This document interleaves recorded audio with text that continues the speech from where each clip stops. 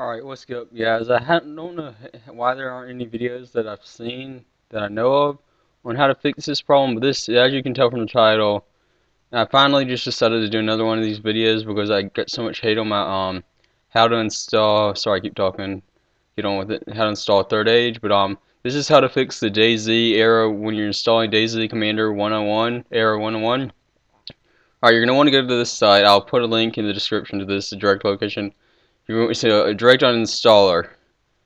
Alright, you are gonna wanna do that. Decline. Decline all this spam shit. Alright. Then once you download it, it'll come up you can open it, do all that, and it'll come up like this.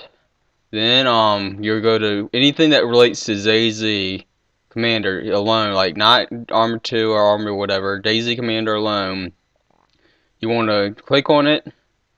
So let me find something I want to remove. You want to click on it. Next, do the recommended mode. Next, go away, you little. Uh, go away.